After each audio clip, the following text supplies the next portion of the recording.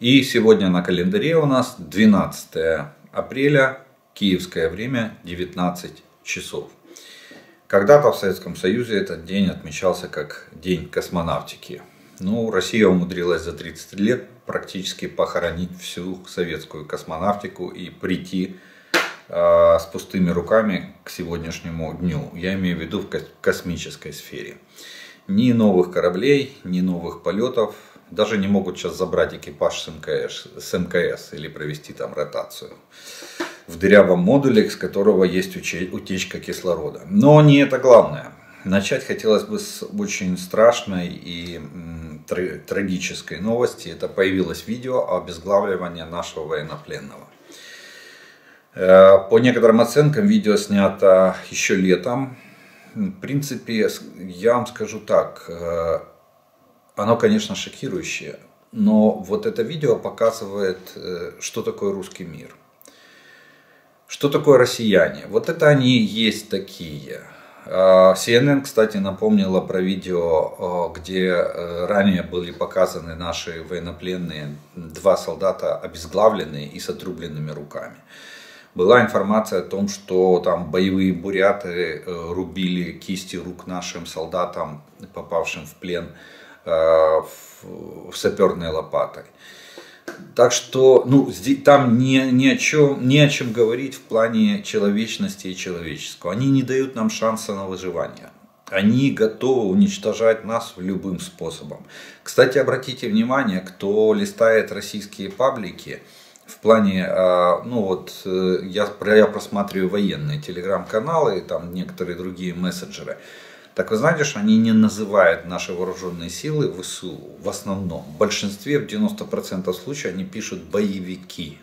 То есть они заранее настраивают население, что нас надо истреблять. Вот так вот, вот это, это лицо русского мира. Если кто-то хочет в русский мир, пожалуйста, добро пожаловать. Отрезанные головы. Но, кстати, я напомню, что именно Кадыров со своими бойцами в, во вторую чеченскую войну точно так же. Только на кам, он на камеру резал э, российским солдатам головы.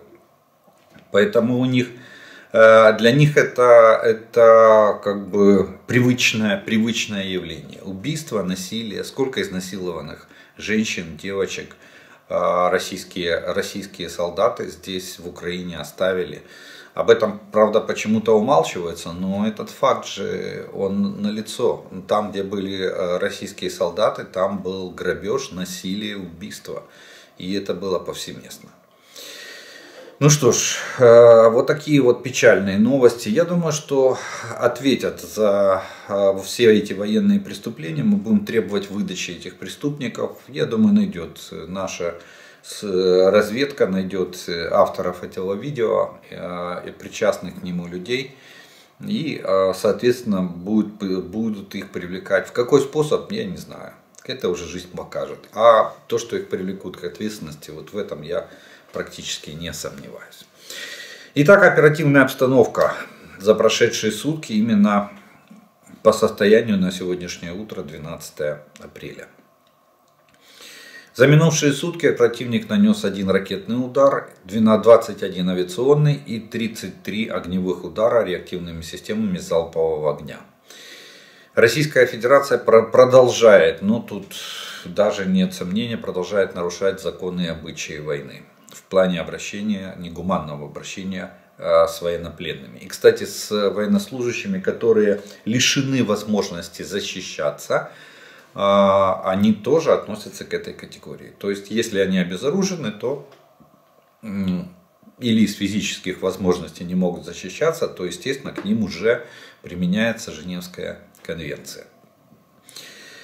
Несмотря на большие потери и существенные потери в технике, Российская Федерация не отказывается от своих планов захвата территории Укра... Украины и наступать, сосредоточением, основное сосредоточение внимания они э, э, э, накладывают на вот эти четыре направления Лиман, Бахмут, Авдеевка, Маринка. Ситуация не меняется, она стабильная, стабильно даже, я бы сказал, тяжелая. российское командование пытается стаскивать сюда все резервы, которые есть по возможности, любое вооружение, которое можно. Вот сейчас будем говорить о особенности по Бахмуту вам расскажу. Так вот, э, за прошедшие сутки 72 атаки. Количество атак увеличивается на вот этих четырех направлениях. Естественно, самое большое количество атак это Бахмут. Далее, пройдемся по оперативным направлениям. Волынь, Волынь и Полесье тут без изменений, все стабильно. Северщина и Слобожанщина, здесь продолжаются обстрелы нашей территории. А, но формирование ударных группировок напротив нашей территории, на территории Российской Федерации вдоль границ мы не наблюдаем. То есть они все бросили сегодня в Украину на оккупированные территории. В течение прошедших э, суток э, враг обстреливал э, территорию Сумской, Черниговской и Харьковской областей.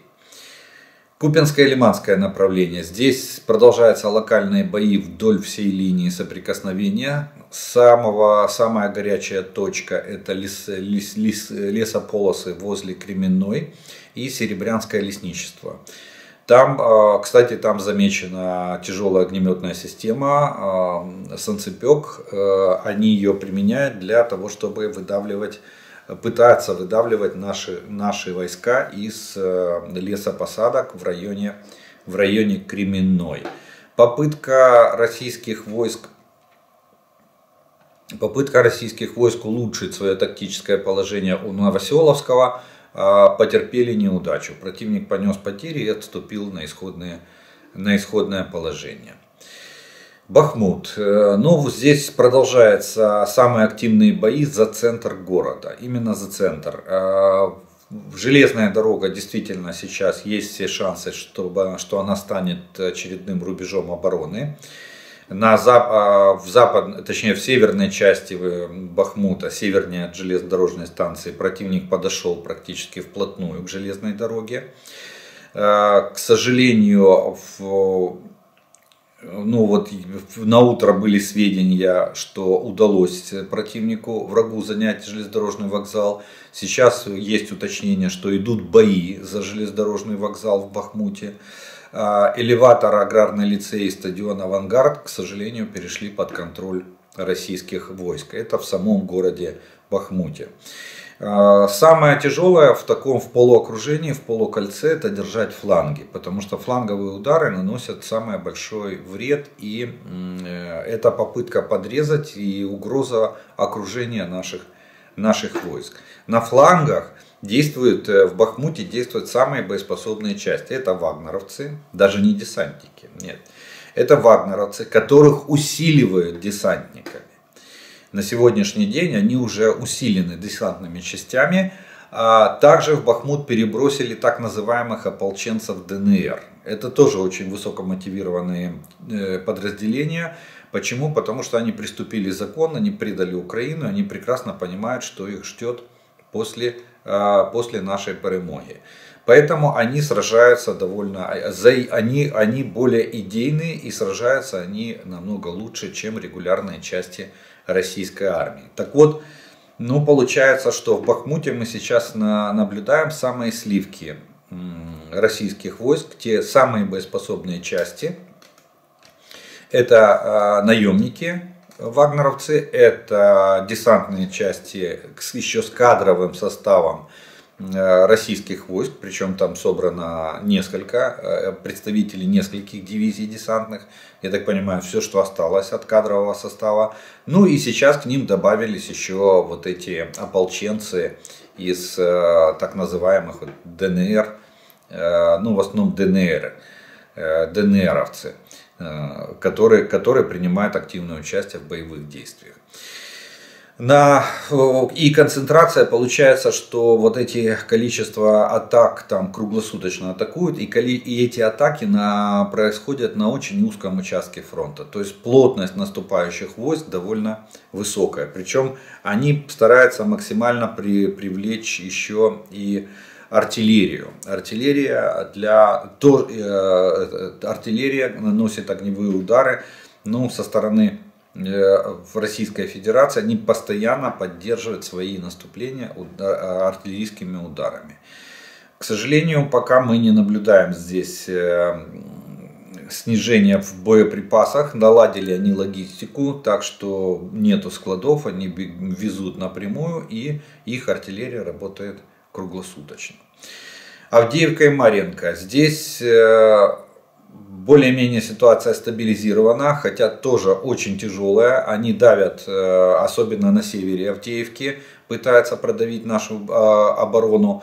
На данный момент атака в районе Первомайского захлебнулась.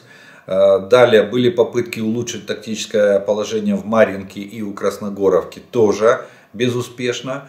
А, и у Водянова враг так и не смог. Они продвинулись немного вперед, но они не смогли закрепиться. И а, понеся потери в живой силе, откатились на предыдущие позиции. Так что а, здесь Авдеевка и Маренко положение хоть и тяжелое, но более-менее контролируемое. контролируемое. Силы обороны проводят стабилизационные мероприятия для, для стабилизации Э, ситуации на линии фронта. Шахтерское направление. Здесь э, никаких наступательных операций враг не проводил. Они обстреливают населенные пункты, э, идут позиционные бои, обмен артиллерийскими ударами. Запорожское Херсонское направление. Здесь враг остается в обороне. За минувшие сутки более 30 украинских населенных пунктов пострадали от вражеских атак. А, я не перечисляю все, я могу перечислять, напишите в комментариях, если я знаю прекрасно, что э, Днепр, Запорожье, там, Орехов, а, Никополь, Марганец, Куча, Херсон, а, очень Очаков, очень много городов вдоль линии фронта, это все прифронтовые города.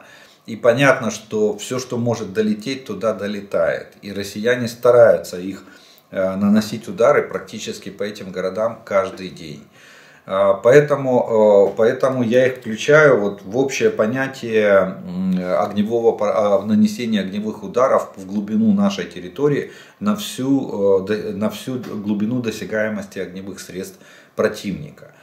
Вот. Но, в принципе, мне не трудно, я буду, если э, вам так необходимо. Потому что пишет, вы пишете в комментарии, что вот я там говорю о э, Слобожанщине, там, Сумская, Черниговская, Харьковская область, там обстрелы.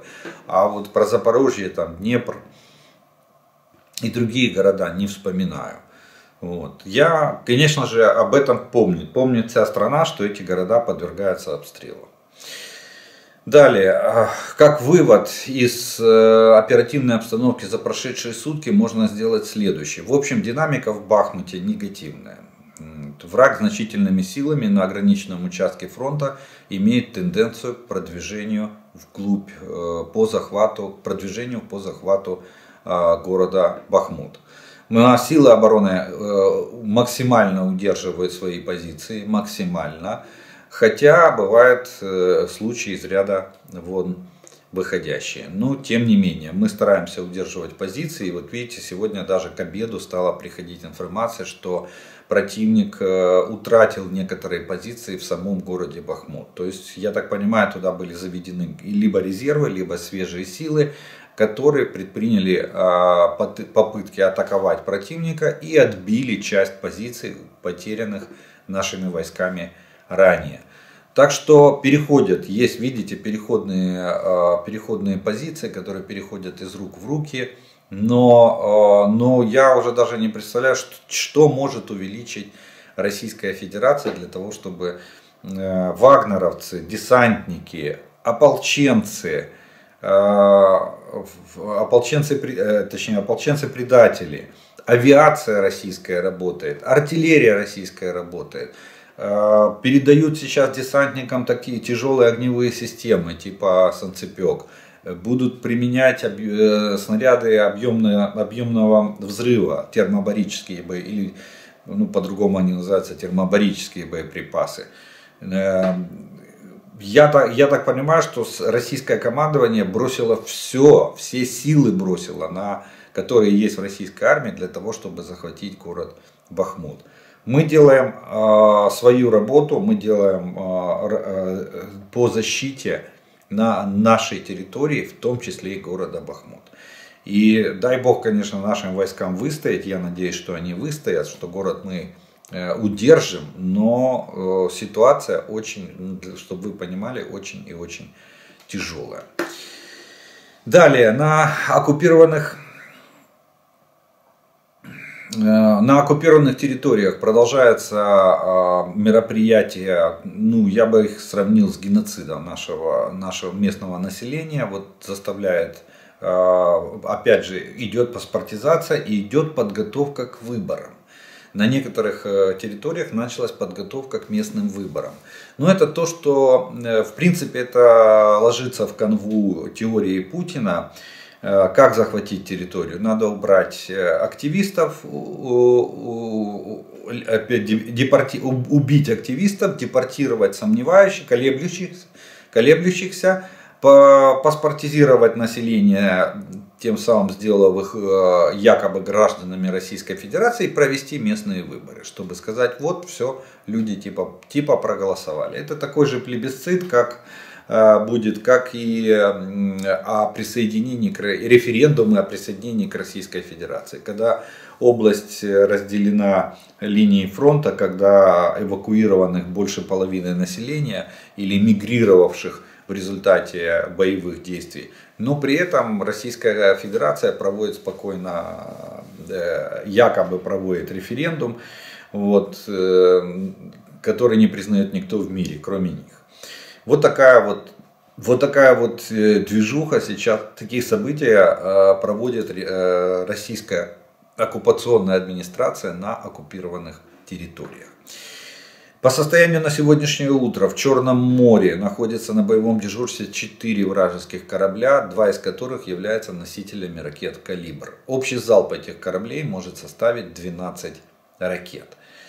Э, урожай. Урожай, который собрала, собрали силы обороны за прошедшие сутки на всей линии фронта – а, это не только Донецкое направление, на всей линии фронта за сутки уничтожено 730 человек личного состава, 2 а, танка, 5 боевых бронированных машин, 5 артиллерийских систем, 2, 2 а, беспилотника оперативно-тактического уровня типа Орлан-10, 10 единиц автомобильной техники и автоцистерн и 3 единицы специальной техники уничтожено нашими силами обороны за прошедшие сутки. Вот такая оперативная обстановка или военная обстановка сложилась на а, всех оперативных направлениях и на линии фронта от Харькова до Херсона.